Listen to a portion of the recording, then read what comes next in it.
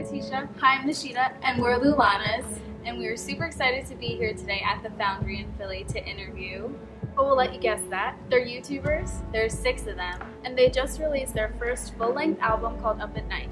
and they have sisterly harmonies that'll knock your socks off. Did you just say knock your socks off? Yes, Well, I did, because their harmonies are awesome. Yeah, and it is pretty cool when siblings sing together. Yep. Yep.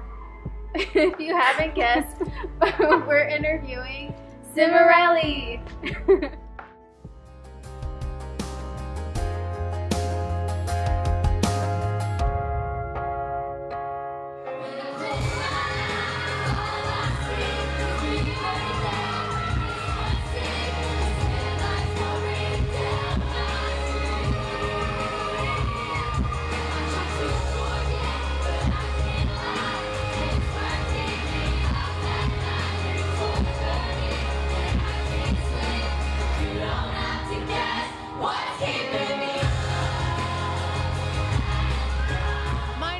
Lisa. My name is Katherine. I'm Lauren. I'm Amy. I'm Christina. And I'm Dani.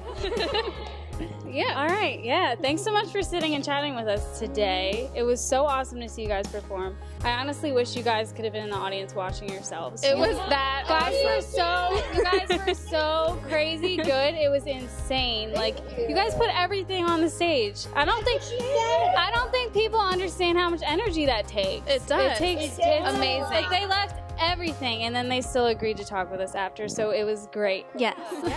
So, for the people who don't know who you are, can you guys tell us a little bit about yourselves? How did Cimorelli get started, and how did you get your start on YouTube? Okay, well, we are all sisters. I'm the oldest one. That's why I'm in charge.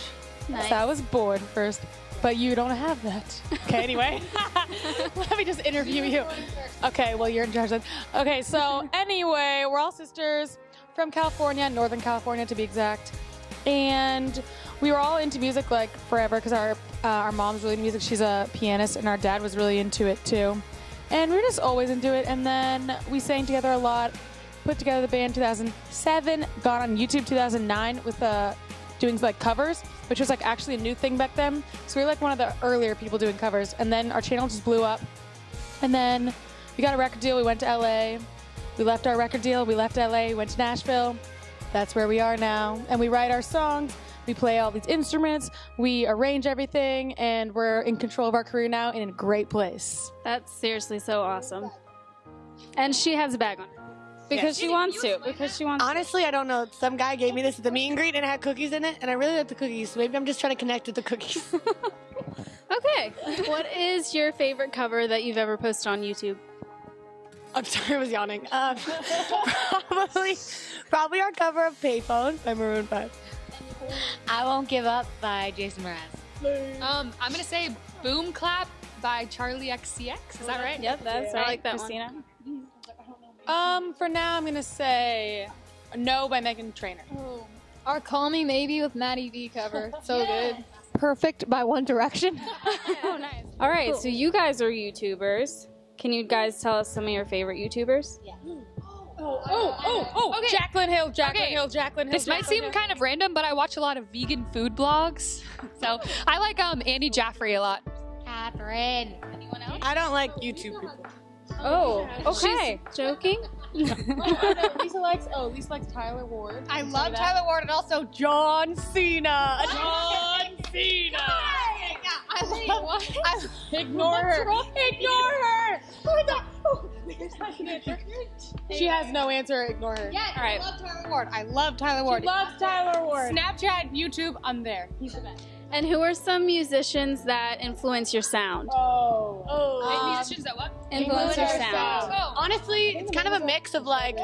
Okay, I'll tell you. Michelle Branch, Florida Georgia Line, Lana Del Rey, Sam Hunt. Alanis Morissette, Sam Hunt. And also, I think we're pretty influenced, well, me personally, but I think you guys too, by like emo artists. Ah. Because of how much emotion they have and how, like, Warp Tour. like Mayday Parade. Yeah, that kind of stuff. Nice. what is your songwriting process like? Who's the right? Is there? Are you? Do you guys all write together? Yeah, we all all- the time, or do some of you write more than others? It's kind of different every time. Yeah, it's really interesting. Um, a lot of times, I think we have a lot of stuff written on our phones. Some of people have more in a notebook, but a lot of, we have like a lot of lyrics on our phones. like when something happens to me that's emotional, I'll be like, oh, I gotta type this up really quick. I have like inspiration, and then everyone will like send it to my email generally, and I will go through and like piece um, songs together. Or sometimes they'll write a song on their own and send me the song. Be like, oh, listen to the song I wrote, and then I'll be like, oh, we should tweak this, this, this. They generally like trust my vision, but sometimes I'll just be like, what do you guys think of this? And then we like take a vote. Everything's like pretty democratic around here. Yep. um, can you girls tell us some upcoming projects for this year? Or are they secrets? Secrets. Yeah, we have like we have like four really big projects, but they're all secrets right now. They're all different, completely different from anything we've done. Brand new projects. We're just going out in like all these different directions, but um, they're all secrets. So dang it. No hints. No hints. What? okay. Uh, wait. How do you give a hint on this? You, you don't. I just thought I'd say it. One of them involves the written word. Yeah. Not the Bible, though. wait, wait, wait. That's what I think. Oh wait, no. Involves that I guess written it word. does. What are they Lots of written words. Every written word. All right, you heard it from here first. Yeah. a lot of a lot of words Co- coming soon, which is good because they're musicians and lyrics and that. So this is your last stop on your East Coast tour. What's your favorite part about being out on the road? Um, oh, crying. Breakfast. No, I'm serious. Wait, wait, listen, I'll tell you why. I don't really eat breakfast usually because I don't really like breakfast foods that much. But then when we go on tour, I get to pick from a menu, so then I get something good. Yeah. Honestly, hey, I'm serious. I'm serious when I say crying because I don't really cry in my normal life. But then I just cry all the time on stage. So it's like a release of emotion.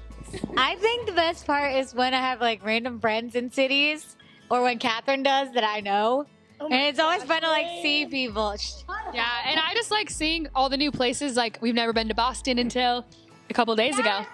Boston, shout out. I like the fact that whenever we're on the road, we actually have some sort of a routine because our daily lives have absolutely zero routine. So when we're on the road, it's like, oh, every day you know what you're gonna do. You have an on day or an off day. Two options. That's it.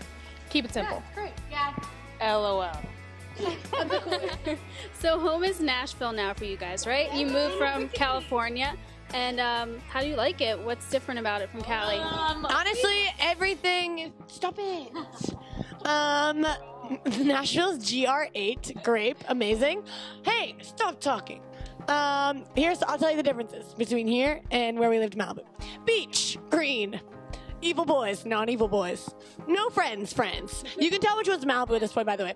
To sum it up, in LA, we kind of felt well, we didn't grow up in LA, but we lived there for five years. We kind of felt like crying ourselves to sleep, and now we feel like crying of joy.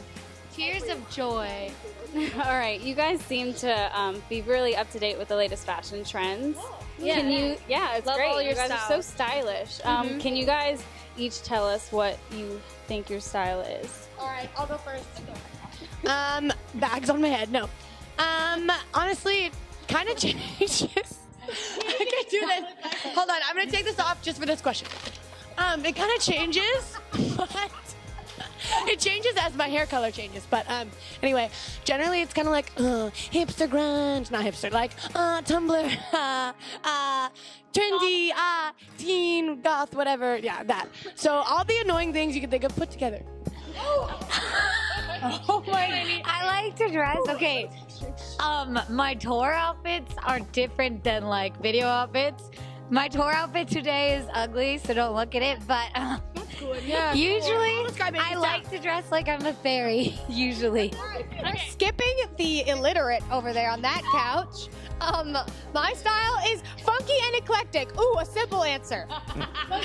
okay, so my tour style is like kind of like in can you please calm down people? Um sorry we're really hyper because we just got off the stage and that's kind of how we always are. Um so my tour style is like an uh, emo person like you know like warp tour. That's my inspiration. But my real life outfit is like a yoga teacher college student. I think that's pretty accurate of how i dress in my normal life. Um, mine is casual teen, hipster emo. together.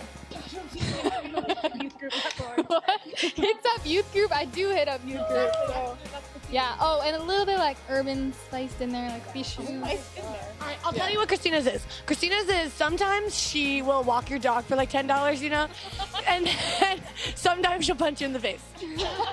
Okay, I guess I guess that's good. style. Pretty accurate. Right now she's at punch you in the face. My gosh. But then she like walking off even though like, like she's wearing like sweatpants and like a like, t-shirt. Yeah, it's pretty accurate. She just likes being comfortable. Yeah. Last question, and then we have a little game. Do you guys have any pre-show rituals? Um, Christina gives us a pep talk and asks us what our inspirations are. Yeah, she's been saying that every show. She's like, so, what's your inspiration? And then we all answer like, oh, the man outside or something like that. Yeah. Um, we pray in a circle. Sometimes we do this thing. We started doing this recently. Guys, can you stop talking? So we do this thing where we go in a circle. I don't know how Christina thought of this, and she's like, all right, whoa, call 911.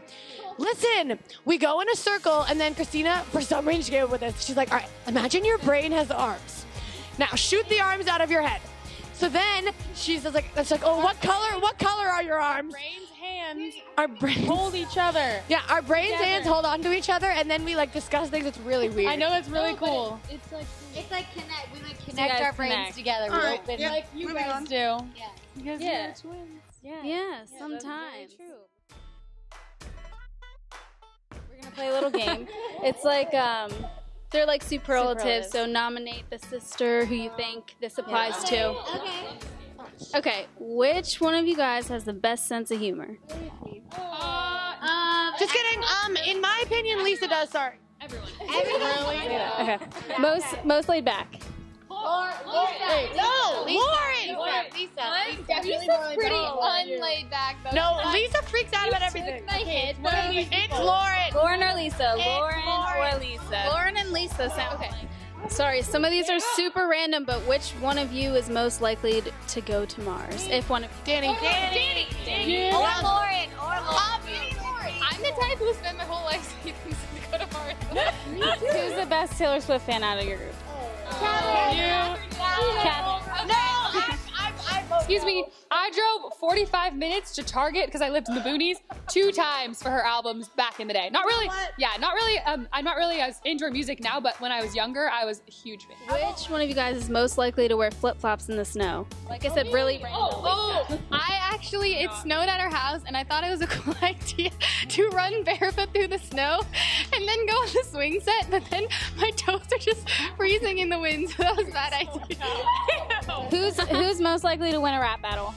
Oh, no, Kevin. No, Lisa. No, Lisa. I'll tell you why. Caps, I think is the most creative. Like you can come up with things like you. Wait, Lisa did freestyle. Lisa freestyle this week. Do it now. Here's my freestyle. Ready? There's a table on the floor. Stop. There's a table on the floor. There's a fish on Lauren's head. Oh, she got some red eyebrows. Yeah. Video games underwater. Susan fish in a chair and a bus. Oh. A couch on a chair. Okay, that was interesting. No, I'm not gonna freestyle, but I like to say that I actually wrote on the fly today this really great rap that I that I might be submitting to Drake. So Which one of you guys is most likely to take a selfie? Like which one takes the most selfies? Lisa. Ah, it's me. Lisa. Lisa and Dani. Lisa and Dani. Who is most likely to be sorted into the Slytherin house in Harry Potter? Oh, But I'm really not. But I'm most likely. Oh yeah, one of us. You guys can you guys can both be in Slytherin. Yeah. Which one of you guys is the most messy? Dani or Christina? I vote it's not me. Who is most likely to walk into a fountain while texting? You! Or Amy! Wait, let me say something. Let me say something. Shut up. Amy has this problem where she she's really attracted to water somehow. So she spills it on herself. She drops her phone in the sink, in the toilet, literally everywhere. Water and Amy is just like a match made in heaven. But to end this off, what advice would you have for other aspiring artists? Um, Uh, be yourself. here's the thing. Though, like- to be an artist, you have to actually like you take a little look inside your soul and figure out what you have to say. Figure out what your message is for the world and what you want people to like get out of listening to your music or watching you play live. And then you have to realize actually you have to ask yourself in your soul if it is right for you and if those passions that you have are meant for that or for something else. Um, all I'm saying is you're gonna hate your life if you let everyone tell you what to do. I just love this bag of it. You're gonna hate your life if you let everyone tell you what to do and you aren't even yourself. Like literally, you are going to hate your life. So be your freaking self. Yeah. Okay, and I have a really good piece of advice for creating. Um, do not let the audience into the room when you're creating. So that's something I always remember because your art should be for you and maybe the person that you're singing or whatever, writing or painting about, and no one else. If you're writing with an audience in mind, no offense, but you're diluting your art. So keep it pure, people. Oh, and never, ever, ever, ever even think about writing for the critic. Never. Oh, Don't write for the critic. We're in Pennsylvania, so thank yous, guys. Oh, you're welcome. There you go. There you go. Did you guys get a chance to get any Philly cheesesteak yet? Yes, I love cheesesteak. And New York pizza, even better.